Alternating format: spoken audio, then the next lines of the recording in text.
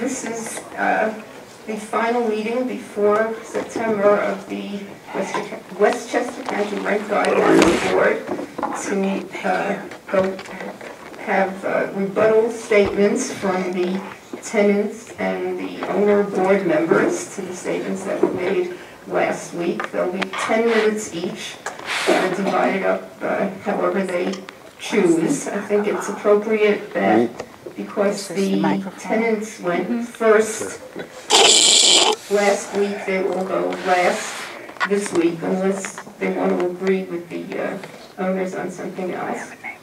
Uh, After which we will uh, have a brief recess, five minutes or so, and then come back and start uh, the discussion. I assume one, somebody will make a motion, and we'll discuss the motion and have a vote, and uh, you've all seen that process before, I think, or at least uh, almost all of you have. Uh, Let me first uh, introduce the board members who are present. Eddie Mae Barnes, public member on, all the way down to my left. Ken Finger, uh, owner member. Carol Ann Cope, owner member. Elsa Rubin, uh, ten, I'm sorry, public member. Genevieve Roche, uh, tenant member. Emma Jean Lofton Woods, tenant member. I'm Jane Morgenstern, public member, of course. Uh, April Gray Huertas, our counsel, Chuck Wesnick, uh, the deputy counsel of the division. Is Woody Pascal here, Deputy Commissioner Yes. Pascal? Well, oh, he's, In he's back. way in the back in the corner. He's a, an extra special guest tonight, uh, as well as Michael Rosenblatt, who just can't seem to stay away. Uh, He's down here Oh, and nice. Howard Gresham, our uh, court reporter. So without further ado, let me, unless there's some ado that I have omitted, uh, let me call uh, the owners to the microphone to make their presentation.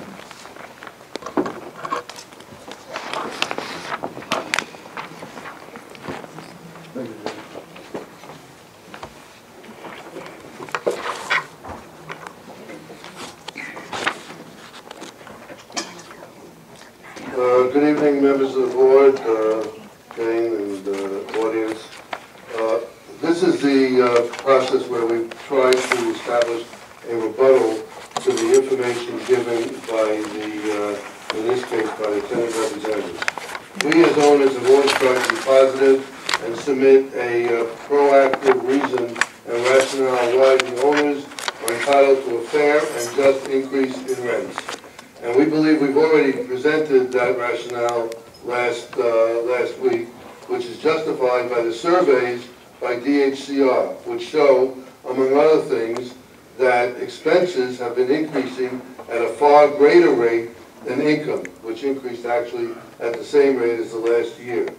Uh, I would submit, if you look at Ms. Roche's rather extensive analysis, you will see that that presentation is fatally flawed and would lead you to erroneous and misleading conclusions. First of all, let's look at the cost-to-income ratio, excluding uh, depreciation and interest. The uh, tenants assume that the cash flow would be 33%. This is wrong because it doesn't include depreciation interest, which are real expenses, nor does it include the money that owners have to expend for capital improvements, which have to be paid all at one time, although they're amortized over at least seven years. And moreover, it is rare that an owner will get a full approval by DHCR for capital improvement increase. For example, if you have a problem with a sidewalk and you have to only fix half the sidewalk, DHCR will not allow that as a capital improvement because it's their position that if you don't do the whole thing, it isn't a capital improvement. If you, I've had a situation where we had uh, fascia and siding, where only half of it needed to be repaired. And DHCR disallowed that because you didn't do the whole fascia and siding. So there are many situations where owners do not get 100% of their uh, investment in a major capital improvement, and that major capital improvement cost actually is a cost to the owner when he makes it, or she makes it, uh, at that time in out-of-pocket money, but they don't get it back for at least seven years under depreciation, and even if the MCI is allowed, it's seven years plus the cost of interest. Uh, The closest ratio to approximate cash flow would include interest and depreciation, but among other things, it doesn't include income taxes either. The last table in section one of Ms. Roche's presentation shows in the first column that the cost-to-income ratio, including interest and depreciation for 2013, was the second worst ratio since 1992 at 90.51%. And during the past 20 years, it's ranged from 82 to 88%. And uh, moreover, if you look at the presentation by Timothy Collins, which is the last item, number 10 in Ms. Roche's presentation, he, uh, on page three, and I quote, it's- he says, "If it rises," and he's talking about the cost-to-income ratio, "operating costs will eat up a larger portion of each rent dollar collected," end quote. And that is exactly what has happened here, that the cost-to-income ratio has gone up over the last year, at least one and a half percent. And uh, then Collins, again, a tenant attorney and tenant representative, goes on to admit that the inflationary factor affecting such items as oil, labor, and insurance costs, not even considering real estate taxes, which we know go up yearly, have to be recaptured in rent increases to simulate normal market conditions. This is Mr. Collins, and this is the tenant's own testimony, that these costs have to be recaptured. Therefore, by their own analysis, it doesn't uh, support Ms. uh, Roche's own analysis as to cost and income. Next, when we go to population, presumably tenants suffering from uh, an increasing employment rate, if you look at the charts, which are, I believe, in item four, item five, the last three pages, uh, in item tab four, show that unemployment has significantly decreased over the last month or two to its lowest level in five years for Mount Vernon, Yonkers, and New Rochelle. The lowest level of unemployment. In tab six of Ms. Roche's presentation, the tenants state that Westchester has one of the highest number of people in poverty, ignoring the fact that this is based on the population, which in Westchester is rather large, while ignoring the percentage in uh, that, uh, that, uh, in poverty in that chart, which shows that Westchester is actually percentage-wise one of the lowest in the state, 53rd of 62. And going to the commensurate rate formula, members of the board, the tenants do everything they can to dispute this. As DHCR pointed out, it was our late colleague, Mr. Joseph, who requested this formula last year and then voted for a three and four percent increase. We submit that the formula is one that is the only logically statistical formula that has been presented. It puts the owner in the same position in real dollars when you consider the CPI, so that the appropriate increase will be four and seven percent, not considering vacancies, or up to three and, uh, and a quarter percent for two years with vacancies. Excuse me, this is the amount that will be allowed, that should be allowed to the owners to be in the same position in real dollars as last year. When the tenants take the 2013 income of 261,000 and increase it to 274,000, they say to, it counts the deregulated apartments. However, the instructions from DHCR clearly state that the revenues that are included by the landlords and owners actually include the revenues from deregulated apartments. So in adding this number in, the tenants are double counting and double dipping. This is blatantly incorrect information. We submit calculated to mislead this board into not giving the owners the increase that they deserve. Uh, Again, the analysis is flawed. The tenants then add additional rent for vacant apartments using the vacancy tables included in the, uh, included in the DHCR handout. Uh, Of course, as we've told the board, these represent legal regulated rents and are not the actual rents that people pay, which the DHCR call preferential rents. And we all know that there are many rents that are preferential rents, and you can't say that the landlords are making the money that the tenants say they're making, because again, we're double counting and it's overstating the income. The so-called statistical analysis is re- is repeatedly flawed and is frequently based on unsubstantiated data. There are many other uh, areas of the presentation by the tenants where the facts do not support the tenant's analysis, such as the Crain's article, which actually talks about Manhattan the 96th Street. We all know Manhattan the 96th Street is another world. It's not Westchester County. Uh, ETPA actually is a subsidy to the tenants. Uh, and many of whom can afford more, have fancy cars, have second houses at the Jersey Shore, the Hamptons, and the like. Further, State Comptroller's Report, which says that single-family owners of single-family houses are even more burdened than uh, the ETPA, uh, ETPA uh, renters. The, uh, the omission of this report, we would submit, is very telling. The, in the past five years alone, in terms of affordable housing, there have been five to six new buildings between 50 and 70 units built in Yonkers for senior citizens. A new building is going up in New Rochelle, and you have Levister Towers in Mount Vernon that has hundreds and hundreds of affordable apartments for uh, not only seniors, but for the general population. Uh, The final thing is the heating analysis cost is flawed in considering only prices and not in usage. The, uh, in order to have a legitimate analysis, uh, if you looked at the tenant's presentation, it talks about the, uh, that fuel oil dropped in 2008, but doesn't reference the fact that it's raised, it's risen in every year since 2008. We would submit that, uh, that the, uh, that the problems that the landlords and owners have now is a product of the fact that a year or two ago, three years or four years ago, we had extremely low increases, which has affected repairs, and the tenants uh, have complained about the lack of repairs. Okay, I'm just about done. Uh, Ms. Roche has asked that we have a balanced approach. We ask that that approach be balanced in terms not only of the rent increase, but in terms of a low guideline, which would help prevent the, uh, prevent the further skewing of rents. So we would ask that again, a four and six percent, and a forty dollar and sixty dollar increase be granted to the landlords to have an equity guideline that includes, uh, lower paying tenants and, uh, equalizes them so that costs are more justly, uh, stabilized. Thank you very much.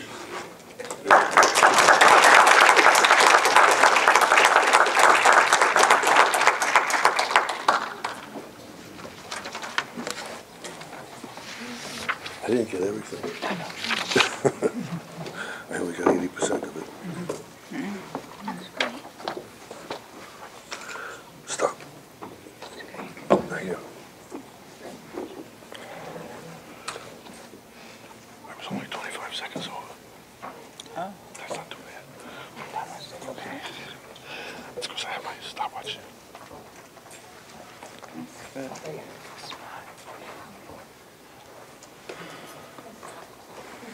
Before uh, Jen starts, just note that Leland has joined us, public member.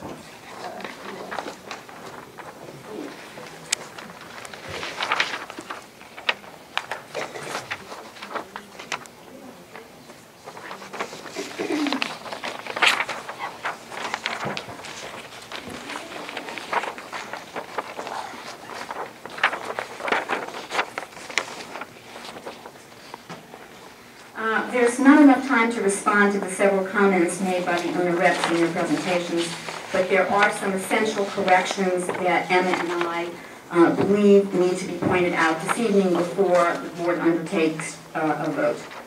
Uh, The first is expenses and net operating income.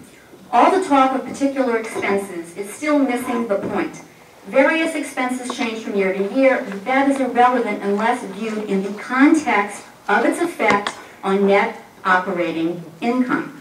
The numbers show that expenses were up only 2.29% over two years, but that NOI remained consistently solid at close to 35%. Three points. Owner board reps keep saying they're entitled to a fair profit.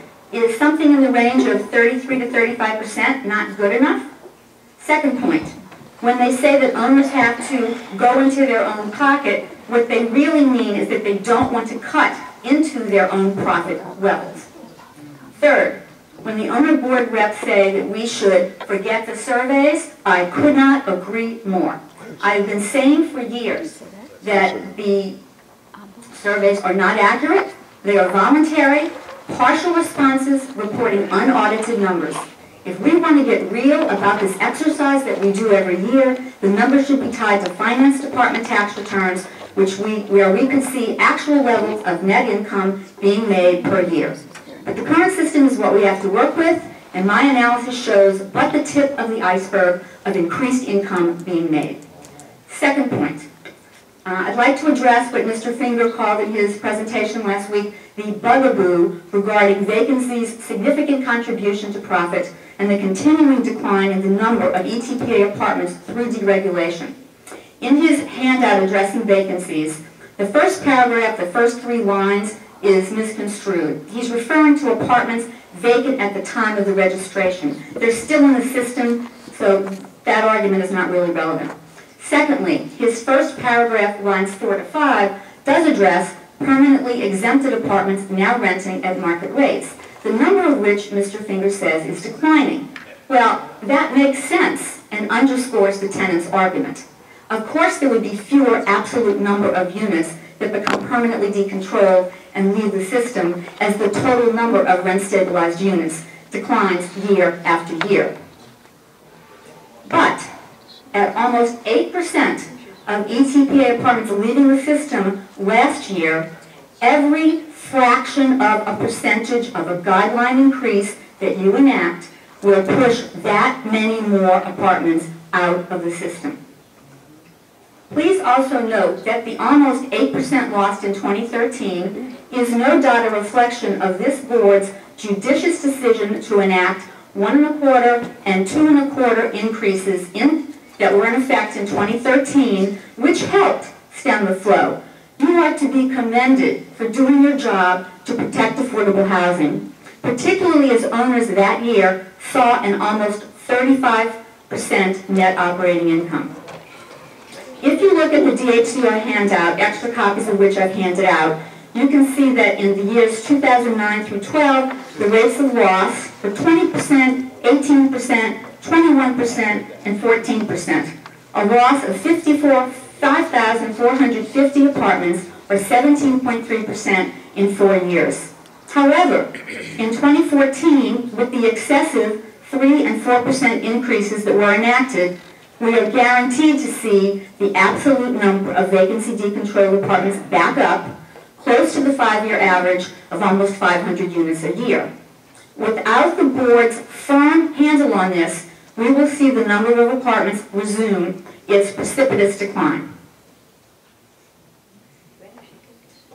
Last point on this topic. Mr. Finger's second paragraph on vacancies addresses vacancy allowances. First and foremost, it is disingenuous to say that the number is not substantial because the rent stayed within a $500 a month range. As he concedes, 75% of one-year vacancies and 70% of two-year vacancies are renting at between 5 and 20% higher rents. Just look at the median increases the DHCR uh, statistics show uh, at my tab 1 for the vacancies in the last year, which generated an estimated additional $7.2 million for owners. I think we can all agree that there is nothing insubstantial about that. Also, I'd like to point out that 26% of the units, or more than 6,500, are renting for more than $1,500 a month, and that is compared to only 20% of the units two years ago, or a little over 5,000. Again, every fraction of a percentage pushes that many more apartments one vacancy away from deregulation. My third major point that I would like to address. My third major point that I would like to address is the owner's statement that they need the $40 and $60 flat dollar increases on apartments renting for less than $1,000 a month since they are subsidizing these rents. First and foremost, we've previously addressed that rent stabilization is not a subsidy. It's addressed every year in my materials. And it's the law to address the chronic shortage of affordable housing units to prevent rent gouging. Second, less than 9,000 rent-stabilized units rent for less than $1,000 a month, which means we are talking about 7% of the more than 126,000 rental units in Westchester County. These are the very people the law was designed to protect. I think it would be fair to say that those 8,800 tenants are more in need of that 40 and $60 a month than the owners who will still realize a 33% net operating income even if we enact a rent freeze, even without that extra 4 to 6 million dollars in their pockets from the flat tax. There are uh, a couple of, how much time do I have left? Right, no. Thank you very much. In which case, I will address the minor Three. points uh, as rebuttal. Um, First of all, the owners keep talking year after year about owners having to sell their buildings, but this year is no exception. We have not seen any documentation or statistics on how many ETPA buildings are being sold, the sales of which are directly attributable to rent guideline increases. Rather, the evidence is to the contrary that there is serious profit to be made in selling or converting a building owned, for example, for 30 years, to realize the net appreciation of dollars per square foot, particularly in the current market. Second point, the PIOC and commensurate formula. Addressed in my materials, but I just want to underscore, since Mr. Finger raised it in his presentation. I do hope you read Tim Collins' excellent testimony explaining why this is no longer a credible or valid formula. Using the CPI is not accurate, as it reflects prices, not actual expenditures, is not fact-based, and has been rejected by the DHCR, DHCR statisticians, including our own Mr. Alba. Um, and then I'm going to just hit very brief, briefly on a couple of points that Mr. Finger raised tonight. Um, he keeps insisting that depreciation and interest are not real, that are, are real expenses and should be calculated into the net operating income, uh, cost-income ratio. Um, this has been, again, addressed in my materials every year.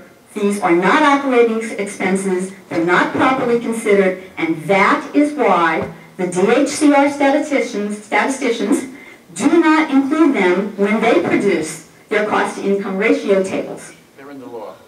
Okay, the next point, unemployment, uh, they touch on unemployment having decreased. I, I handled this thoroughly in my presentation and in my materials. It's still substantially below 2007 levels. Poverty, uh, Mr. Finger um, disingenuously talks about Westchester County, which we know is a rich county, but let's face it, folks, 74% of the rent-stabilized apartments are in the three towns where the poverty level is hovering at 15%. Um, And then finally, I am absolutely not double counting. Oh. And also, please don't interrupt me while I'm speaking, I'd appreciate it.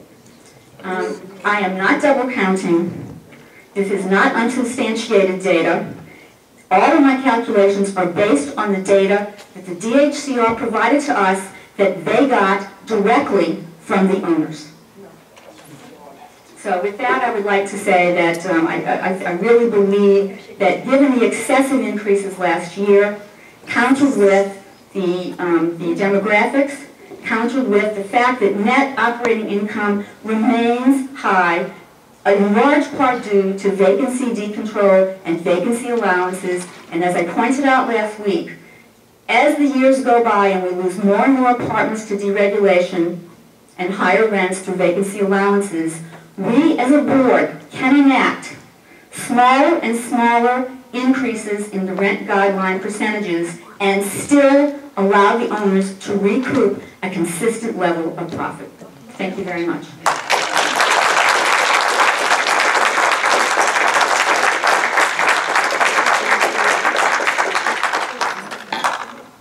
Madam Chairperson, does the public have the Sir, opportunity? sir, you are, you're out of order. order. The public is not invited to speak at, at this, this meeting. Okay, maybe next We're, we're gonna take, um, a, a break for five or six minutes and uh, then come back. I will ask for a motion, and at that point, I think uh, discussion among the board members, including if they wish questions to the makers of the motion, uh, will be entertained. So moved.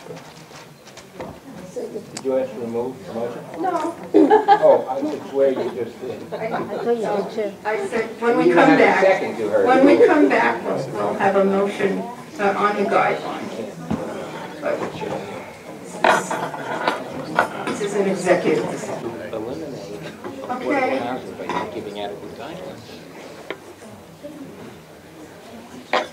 We're going to resume our uh, meeting, and I'm going to ask uh, that we get a motion from uh, somebody on the board so that we can begin uh, our discussions as to the guidelines. Can I have a motion? On She wants the number. Mr. Finger, Ms. Coe, Ms. Roach, Ms. Lofton Woods, Reverend Lofton Woods.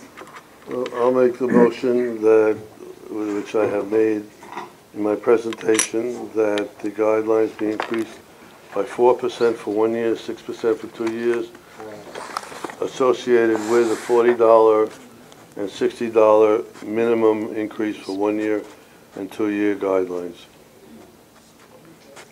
There a second? Carol, Oh, oh, seconded by uh, Alan Coe. Uh, Board members, discussion? We never discuss. Yeah. Just never discussion. My concern is um, that with the four percent for one year and the six percent for two years, and I know that uh, the owners, uh, you know, based on the information that you presented, that uh, they have um, costs that have risen.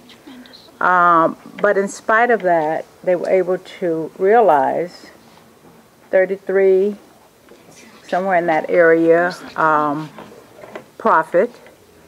And one of the things that we weren't taking into consideration is with the economy the way it is, it is definitely affecting the tenants. And somehow in that figure, or those figures, I don't see that it's taking that into consideration. And that's a real concern for me. Yeah, can I answer that? Uh, And I, I appreciate that, that concern. First of all, I think what you're doing is you're buying into the arguments that have, that have been made by the tenants over the years that the cost-to-income ratio is profit. That, that isn't profit.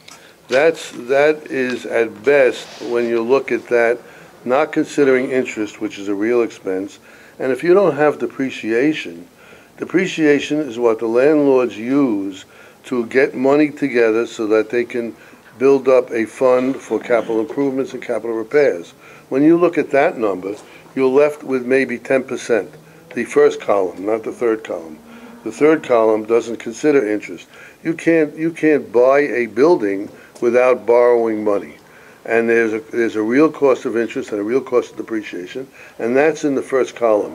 And even that nine or ten percent shows, according to Mr. Collins' own testimony, that there is less dollars for the landlords to use by virtue of the fact that it's gone up, uh, up one and a half percent this year, the, or the, the number, which means there's that much less, uh, there's that much less money for the tenant landlords to, uh, to have as, as expense.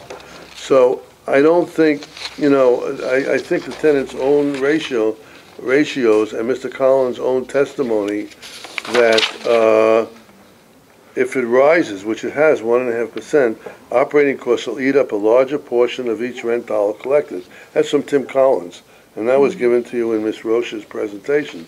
So I think you have to, you know, I, I understand where you're coming from, but the real number now is ninety point five one percent, and that doesn't include the fact that of a lot of the money that's left, the eight to nine percent that's left from, from this number, a lot of that number is laid out out of pocket in advance for both major capital improvements mm-hmm. that are reimbursed and not reimbursed.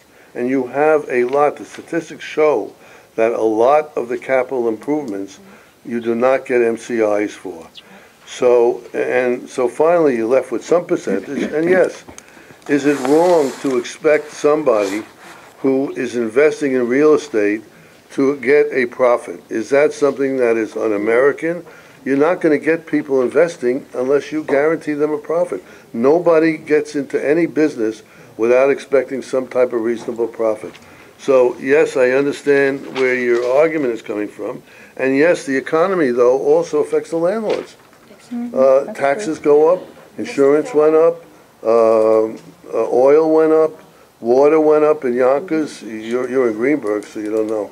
We deal in Freeman. Yonkers. Everything goes up significantly. You've been, you've been going on for a while, and I, I have a feeling that somebody's stopped. gonna want to rebut that, but after, uh, is it Ms. Roche who's going to, uh, talk next in this discussion?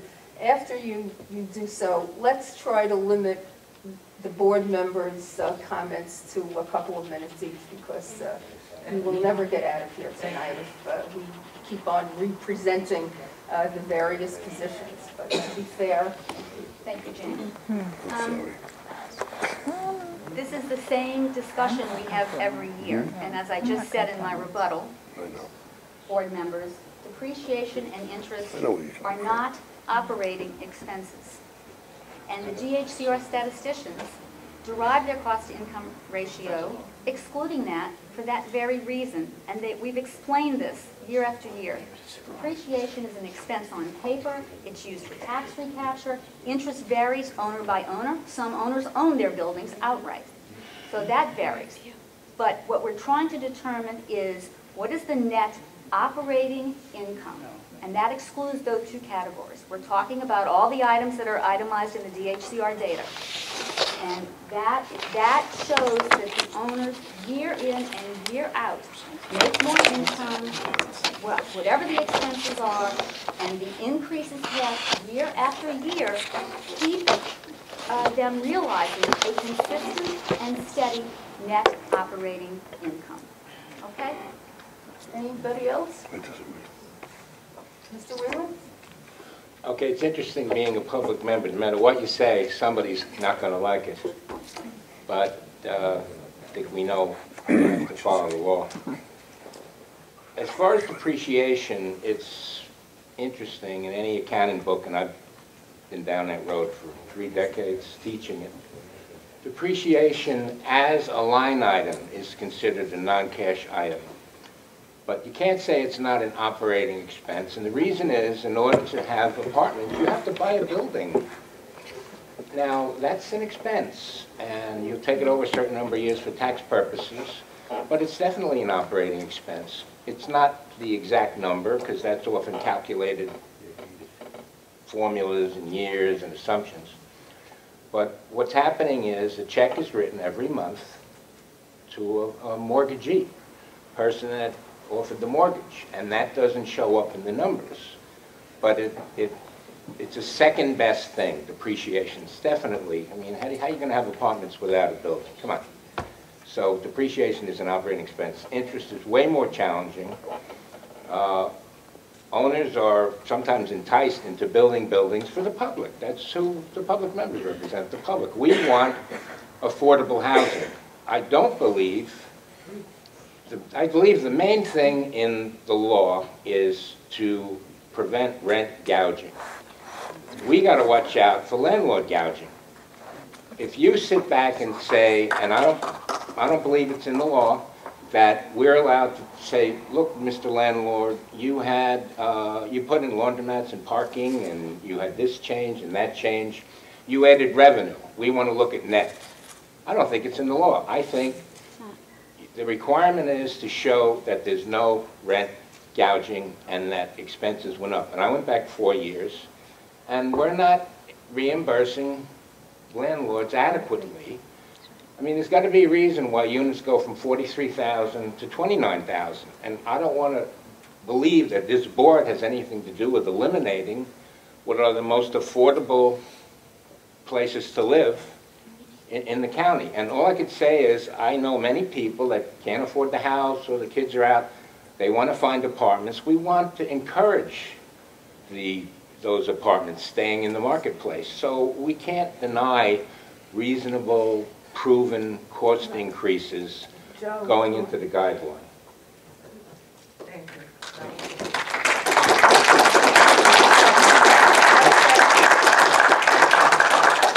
Board members, I just have a one-sentence reply to that.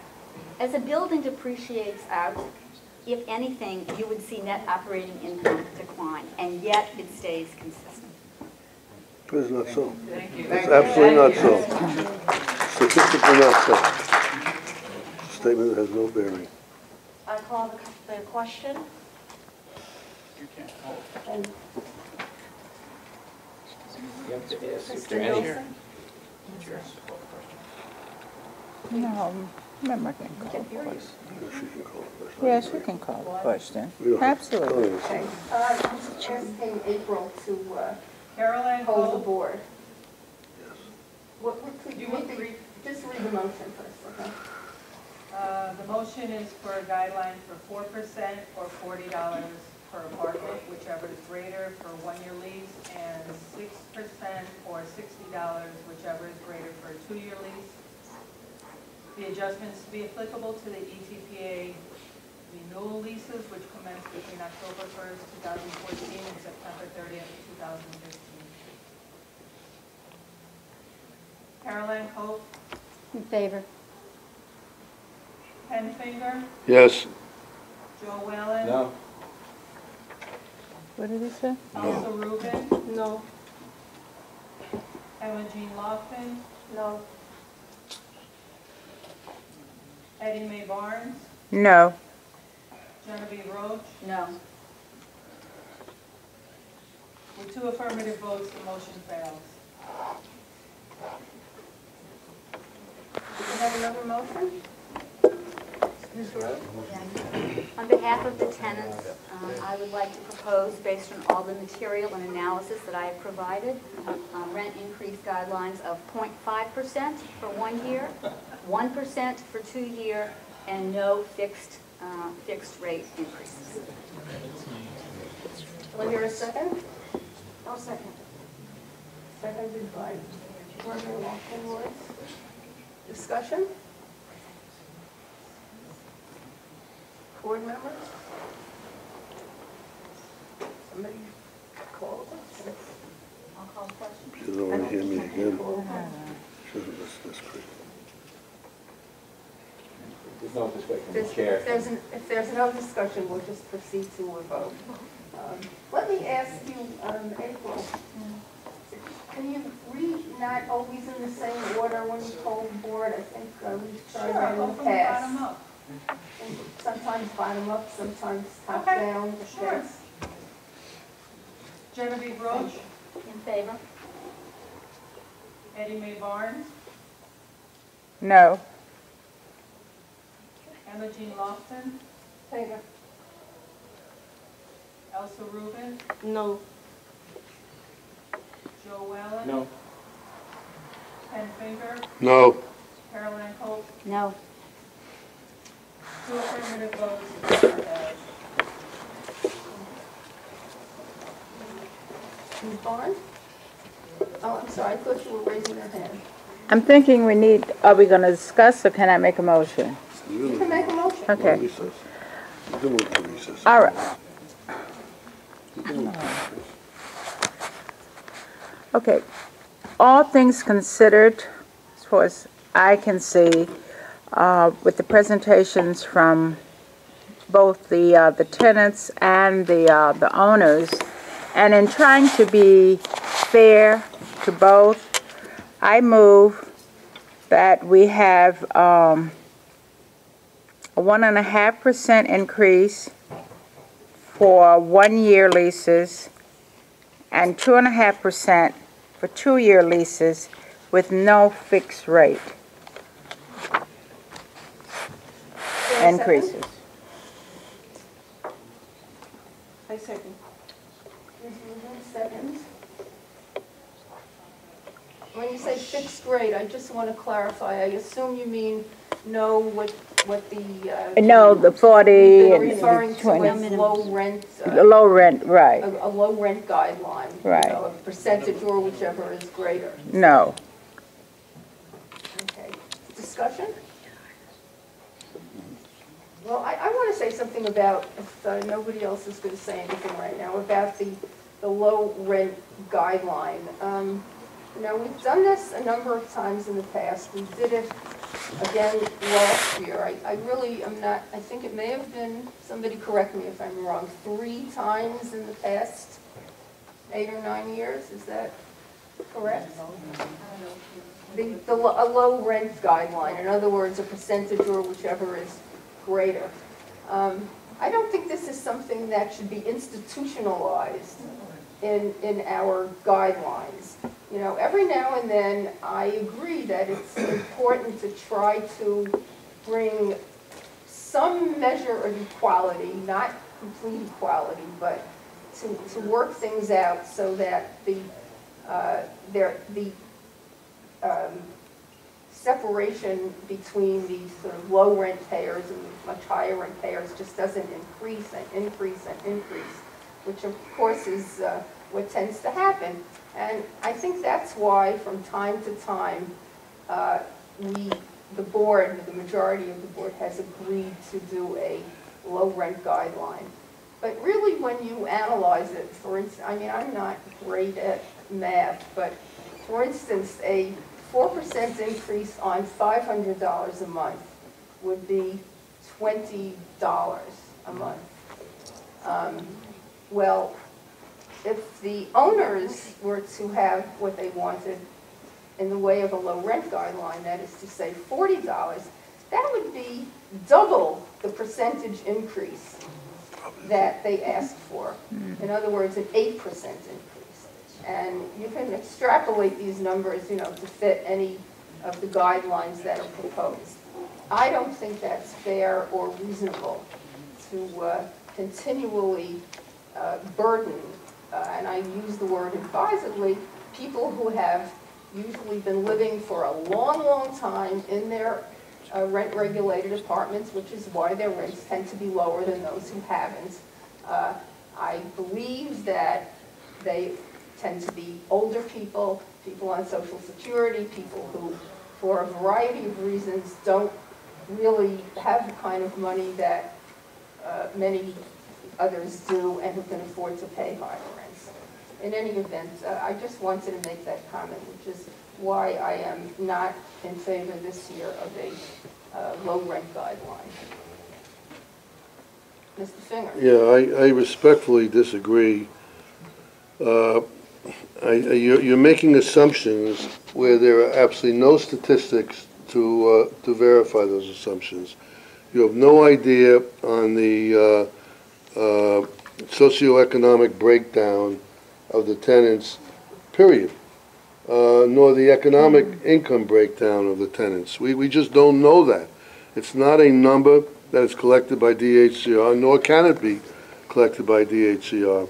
And for every anecdotal person that you know that has a problem with that, I know someone that doesn't have a problem and is living there for many years, uh, taking advantage, having a fancy summer house, and, and getting away with it. That's what it, what, that statement that you made earlier was Yes. one of the reasons that I, I brought that up, you're I- right. I understand Your- that. Your points have been anecdotal, as have mine. I, I, but that, think that's exactly my we- point. We've had a lot of testimony from, from tenants and tenant representatives, uh, much more so than uh, people occupying uh, higher rent apartments. I mean, I don't want to get into a dispute about this, you're right, it's anecdotal.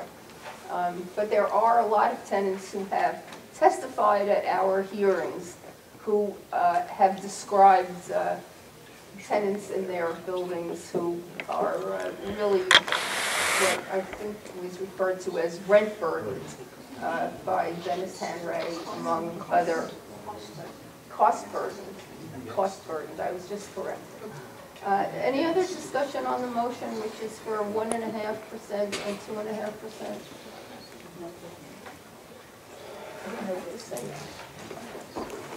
Mr. Wheeler? Thanks. Okay, regarding that, uh, pretty controversial topic, I wish we had more data on that so-called, uh, I'm calling it the equitable low rent amount.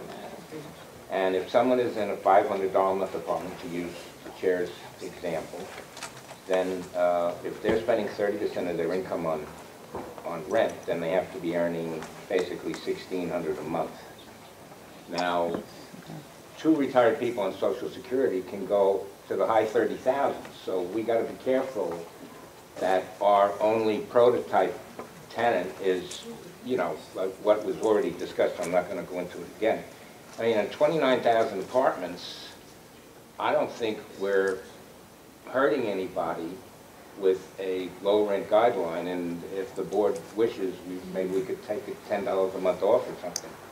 But it's so inequitable to particularly the smaller building owners, and we hear testimony there too.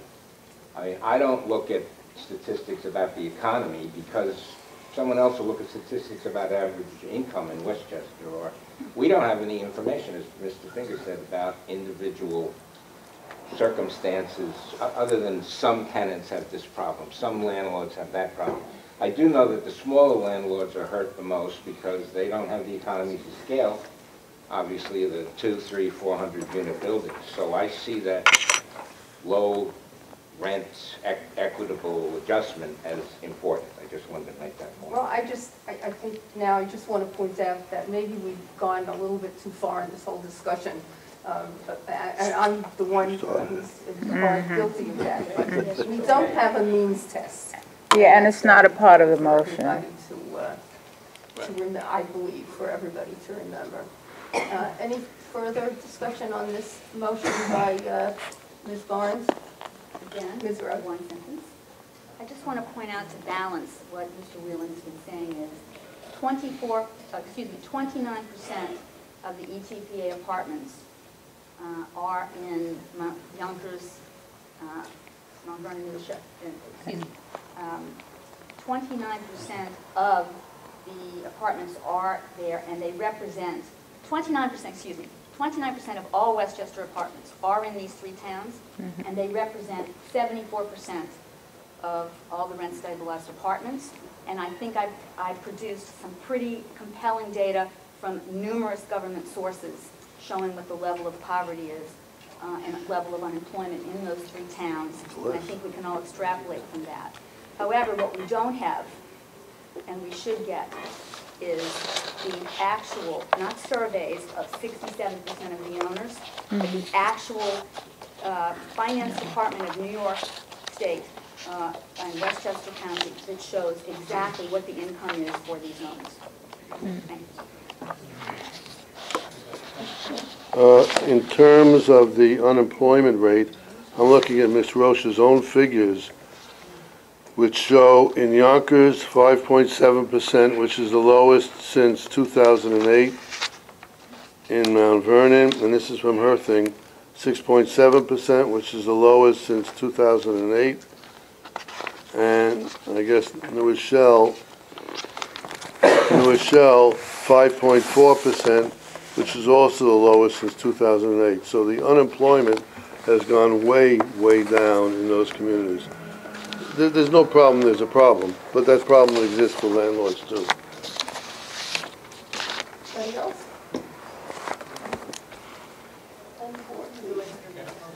Yes.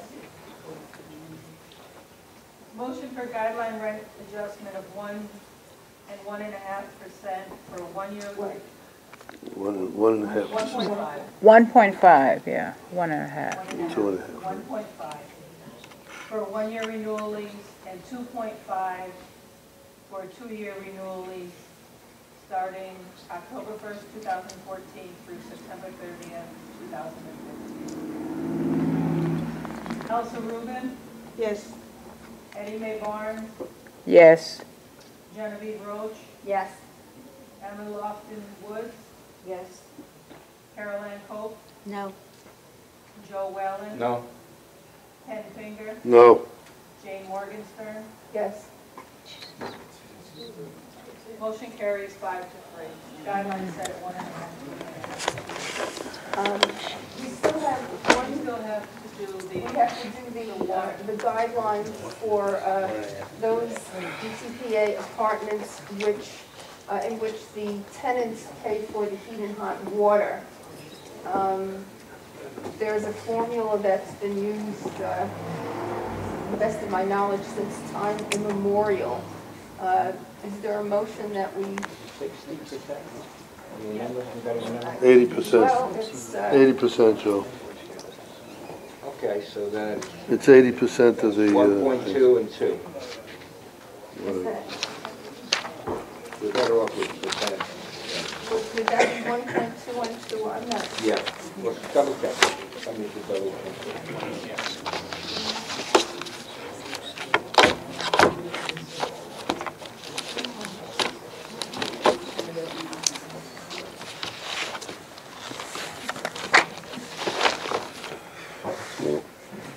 I hope I can convince you otherwise next year. Well, one point five times Well, one point two. it wasn't as low Two and a half as times. they wanted it, but I, I think, uh, I, I I, think it's reasonable. I think, it- I think it should have been a little more, but How Can much? everybody please quiet down? We're, we're not, we haven't concluded our business yet. One point two and two. Two. Yes. Um, We have a motion that, motion by Ms. Ms. Rubin and seconded by uh, Reverend Lawson Woods for the uh, is a most guideline tenants take the, uh, for take three tenants. This is uh, who the no pay heat. for their own heat and/or hot water would be, April, one point two? one point two percent And for a two, one-year lease and two percent? no, it's eighty percent. Twenty-four, six, is that, is that two? Yeah. Yes, Joe. All right, two. Two percent for two years. Yeah, you're right. They figured it out. I need to ask you a question. Okay, we have a motion and a second, any discussion? Hearing none. Go board, please. I'm gonna say no, Cal. Ken Finger, No, Joe Wellen. Yes. Elsa Rubin, Yes. Emma Lofton Woods, Yes. Caroline Hope, No. Eddie Mae Barnes, Yes.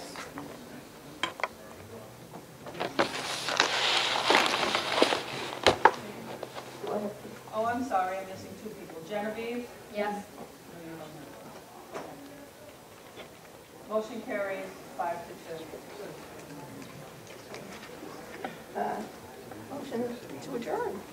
Next Till meeting- when? What? What? Next meeting, Well, December next 16 meeting if we're is going to be in September, that will be the certification.